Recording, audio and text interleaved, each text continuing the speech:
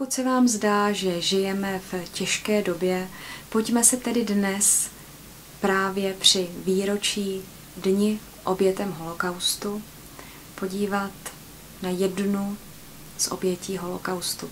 Podívejme se, jaké to je, když skutečně ztratíme veškerá práva a svobody, kdy se z člověka stane v podstatě nesvéprávný tvor, kdy přijde o všechno. A přesto přežije a přesto si vybuduje nový život. Vím, že to asi není moc velká útěcha pro ty z vás, kteří zažívají opravdu těžké období, kdy o někoho přišli, nebo kdy se jim zhroutil podnik a nebo i celý život. Ale pojďme se tedy podívat dnes na vyprávění pana Karla Freuda, který pochází z Třebeně a nakonec zakotvil v Karlových Varech. Rozhovor s ním byl pořízen před mnoha lety právě v židovské obci v Karlových Varech. Pan Karel Freud přežil nacistický nikoli koncentrační, ale pracovní tábor, kde eh, podmínky, které rozdíl, nebo respektive rozdíl v podmínkách eh, přežití koncentračního tábora nebo pracovního tábora nebyly zas až tak rozdílné, až na to, že v tom pracovním táboře se prioritně ne, mm, nevraždilo, ale mm, to neznamená, že jakoby nebylo to prioritně učené místo k tomu takzvanému vyhlazování, nicméně podmínky tam byly extrémně těžké, složité a docházelo tam i k řadě úmrtí. Zajímavostí tohoto rozhovoru je také vzpomínka na velmi známého, tehdy známého, eh, dá se říci, prvorepublikového zpěváka, částečně i herce, a to Járu Pospíšila. Takže věřím, že pamětníci budou rádi a mm, ti z nás, nás jaksi mladší generace, si myslím, že se dozví zase něco zajímavého. Podívejme se tedy na jeden z příběhů, z těch možná mnoha, ale který právě také přispívá k tomu, že je jaksi jedním z těch střípků, které nám pak tvoří veškerou celou mozaiku ohledně naší minulosti. A buďme rádi, že to s námi ještě není tak zlé. Je to vlastně smutně pozitivní. Vzpomeňme tedy na oběti holokaustu právě dnes. A teď již tedy, jak se pan Freud v roce 1944 dostal do pracovního tábora. Já pocházím z Jižních Čech Třeboně, kde jsem se učil ve 44. roce v červenci mě začali vyšetřovat a před začátkem srpna jsem dostal předvolánku, abych se dostavil do Budějovic na gestapo. Tam, abych si vzal sebou 30 kg žiperů na práci.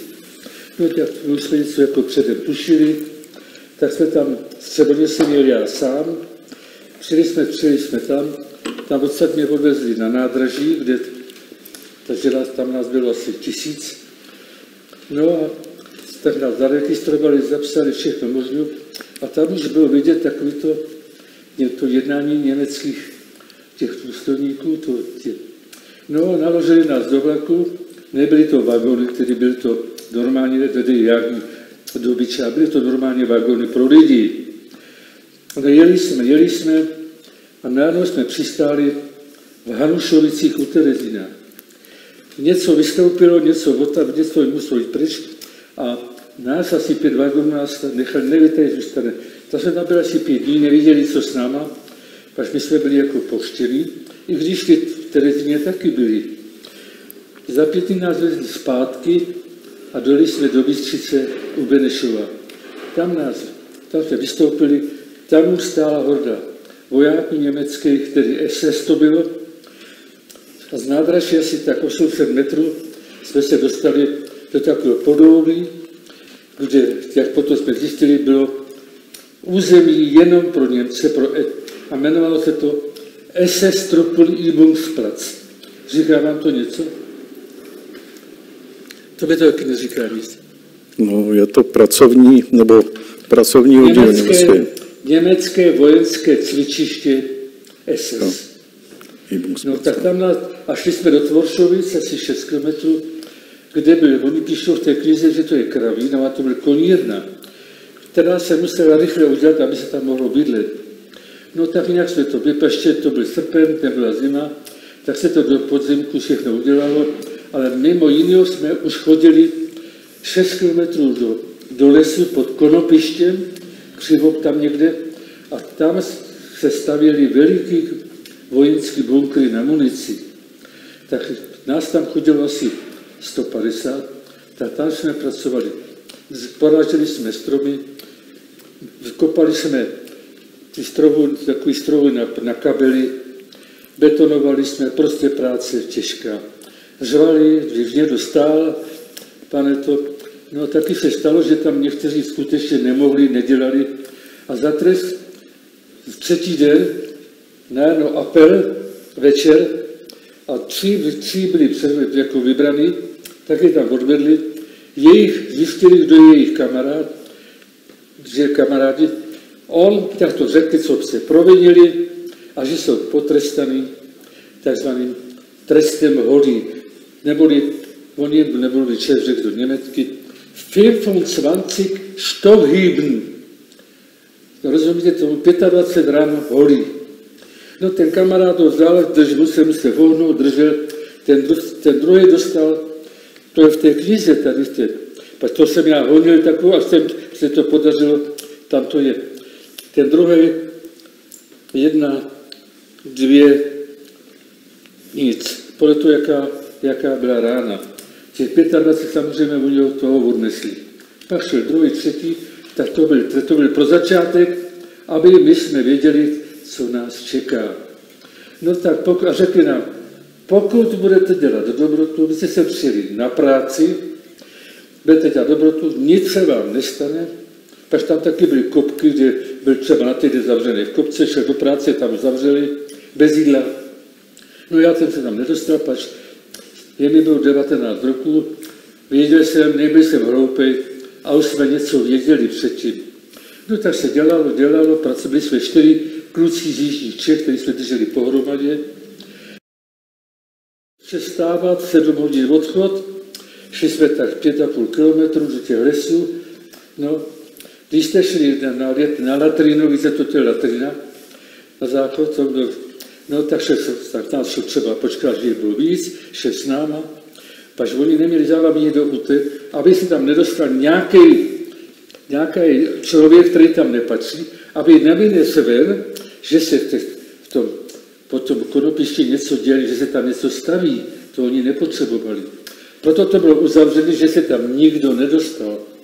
No, vše to skončilo, poledne půl hodinu na jídlo, kde jsme z toho šusu to vysvědli, šli jsme pěšky zpátky, sedm hodin byla taková večeře, Umyli jsme se, pokud tekla voda, většinou to bylo studený, jinou sobotu, někdy byla teplá, tak jsme se pořádně umyli hlavu a to všechno. Dělali jsme i v sobotu, někdy byl třeba i v neděli. Pršelo, nepršelo furt. Dokonce v zimě to bylo nejhorší. V oblečení nebylo pořádný, nikdo nevěděl. Tak, se, tak nám tam něco, jako co, tak nám tam nějaké ty kabáty takový dali. Bohužel já jsem byl šikovný, tak z těch starých vyřazených šatů jsem šil palčáky. Já je šil a dával jsem to těm starším. Nejstarší tam byli 40 roků, starší a nejmladší 18. Ne, přišel zákaz, nesměl se v rukavcích dělat zimě. Proč? Nevím, to, tam to je napsané, tam vám to ukážu. Do toho, to, občas No, jenomže potom já jsem se dostal Neříká vám něco Jara Pospíšil? Zpěvák. To byl zpěvák a muzikant. Ten dělal tři neděle se mnou, jenomže on dělat, on byl klavírista, zpěvák, ale uznávaný herec. Ten, ten nemohl krompáčem, kopali jsme, když jsme ty stromy vykáceli s pařezama, tak jsme kopali takový, jak víš, takový na kabely, ty 50 široký, 50 hluboký. Výkopy na kabely. Výkopy kořeny tam. Já jsem byl kluk z Venkova, já to, tak, se, tak ten dělal se mnou, no ten, ten tam, ten, ten na něho tam řvali, pak se dozvěděli, že je to muzikant a zpěvák. A vedle v, v Tvoršovicích, v, tom, v té konírně velké, byl krásný zámek. To patřilo zřejmě nějakému Němcovi. Tam bydleli a tam bydleli ty, jestli státy, ty, ty, ty, ty, ty, papaláši. Oni ho, oni ho vytáhli a řekli mu, jestli by jim nechtěl večer hrát. Tak on celou tu dobu tam chodil hrát a zpívat.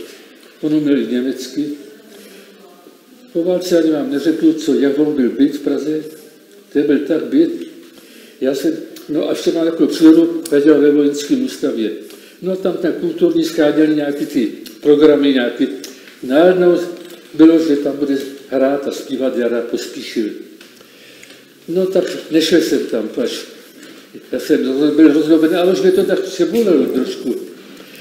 V létě já jsem jezdil, tenkrát se tam koupat na přehradě. Ty si to pamatuješ?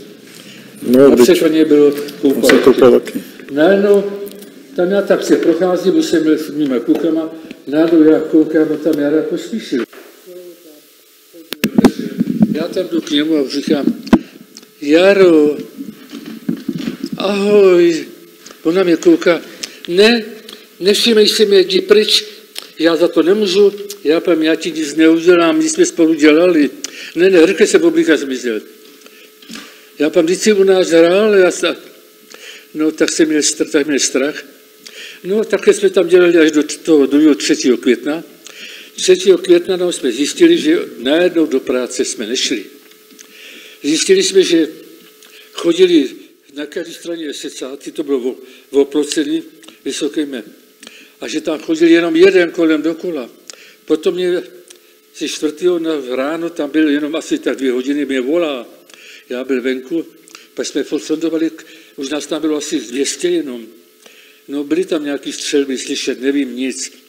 Naži, my žijeme jenom tři v republice, co jsme tam byli. Už, pak, já byl, tam byli, když bylo 25, tak si to spočítejte, kolik by jim, tak ty, ty měli od, dejme, o, o 10 let víc jak já, tak už měli skoro 90 pryč. Ty nežijou. Tak mě volá, já říkám, ne, že jako, ne, keine Angst, žádný strach. Jestli nemám civil, on mě prosil, jestli nemám civil. Já vám, že mám to, co jsem měl, a málem v tom jsme i spali. Potom za dvě nebo za tři už tam nebyl, nikdo nás nehlídal, kuchyni se vařilo, ale nikam se to nebo, tak jsme chodili pro jídlo, to nám dali, to bylo všechno antofy. Ale dalo se to jíst, museli jsme něco jíst. No a čtvrtýho nás bylo čím dál mít a my jsme se báli, chtěli jsme prostě dojít z domu živý. No, pátého ráno jsme sondovali, bylo na, tam bylo asi 20 těch baráků dlouhých, jsme to prošli, nikde nikdo, v zámku, jsme slyšeli, že v zámku taky nikdo ne, to, to už jsme byli jako bystřici přestěhovali, to nás přestěhovali 45. březnu.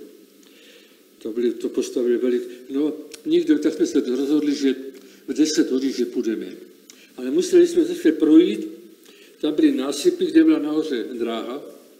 Nechtěli jsme tudy les, jako by nás neviděli třeba, že utíkáme. Tak jsme šli normálně přes to letiště a šli jsme, tam byl podjev, podchod, podjev, vidíte, taková brána.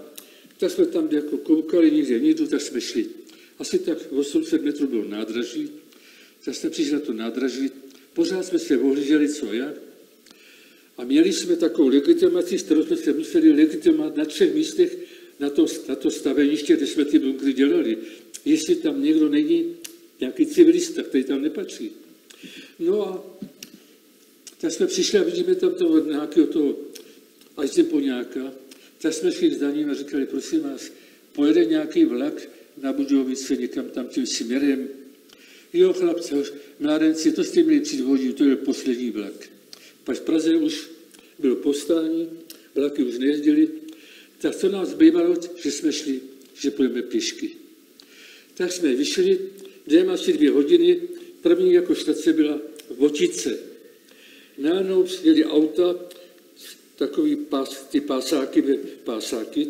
Nahoře se do takových 15 esetáků.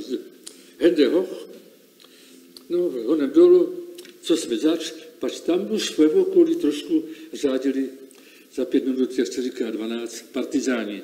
Vlaky vyhazovali, auta někde hodili granáty, žili, tak to bylo, to jsme našli ve stoce převrácený. Já říkám, ne, my jsme byli na práci, v SS Trupulibusy, jak jsem řekl, tohleto. A jo, tady máme, teďka dobře, myslí na. Kam jdete? Já říkám, že jdeme jako na, na Budějovice. Amerikán, Amer, jako k Američanům. Oni všichni pak odjížděli jako k Američanům. Už věděli, že Rusáci tam někdy už. No, tak jsme šli a já jsem ještě byl tak drze, že jsem říkal, prosím vás, nevzali byste nás kousek.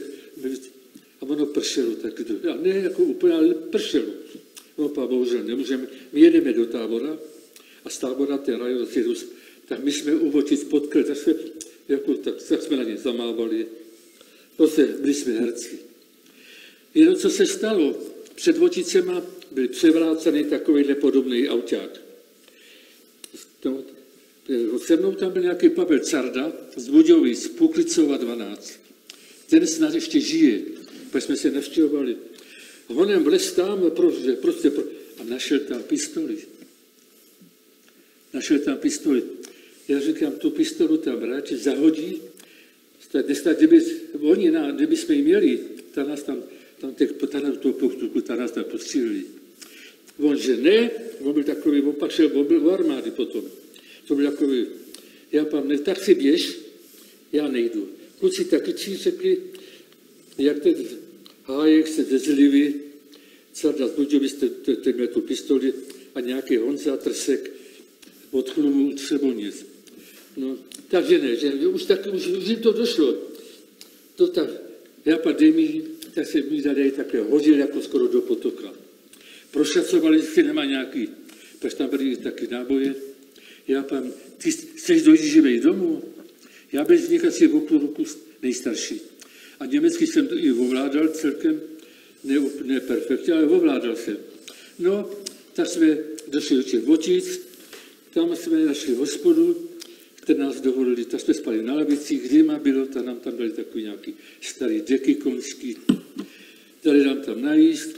Druhý den ráno jsme vyšli a šli jsme do tábora, to byla druhá štace. Zase dvakrát to byli lidi, tak se jim to řekli, že už jsme byli kontrolovaní tam a tam dobře oposlat. A tam nám dali bochní chleba v těch voticích. No a, po, no a těch, po těch cestách jsme našli celty. Tak jak prostě jsme si z toho vyřezávali takovou jako kapucu, aby, se měli, aby, aby jsme, jsme byli promočeni. Tam jsme ty se, se osušili, došli jsme do tábora, tam, nás, tam už existoval nějaký takový výbor, tak nás tam někdo zaved, tak nás poslali na náměstí do takového hotelku. Jo, jo, jo, ta nás ubytoval příjemný majitel, příjemný majitel, nebo to byla, a dal nám najíst, dal nám prejt, zelí a brambory. No my jsme se najedli, to víte, to, jenomže za dvě, za, za tři hodiny my jsme dostali takové bolesti, my jsme proseděli celou noc. Víte kde? Zvraceli jsme, pak jsme na to nebyli zvyklí. Možná, že to bylo taky starý. No tak druhý den nám tam nějaký čaj uvařil, no, a, a kašina. Vím, že nám udělala keši rejžovou. Tak odsaď jsme vyšli a šli jsme do Veselí nad Lužnici, to byla třetí štace. To bylo vždycky ta 40 kilometrů, 50. To byly kluci. Teď najednou ta, z tábora do, do, jeli kolony Němců na kolech. Ty jsme měli strach, aby třeba někde někdo nerozházel nějaký připínačky a oni by třeba, myslím, co udělali my. Tak jsme přemýšleli. Tak jsme taky mávali na ně a ptali se nás. Amerikáno, my jsme řekli, jo, Budweiss. OK, good, good. Na kolech ujížděli těch aut nákladních. Tak jsme vždycky zamávali, aby jsme měli pokoj.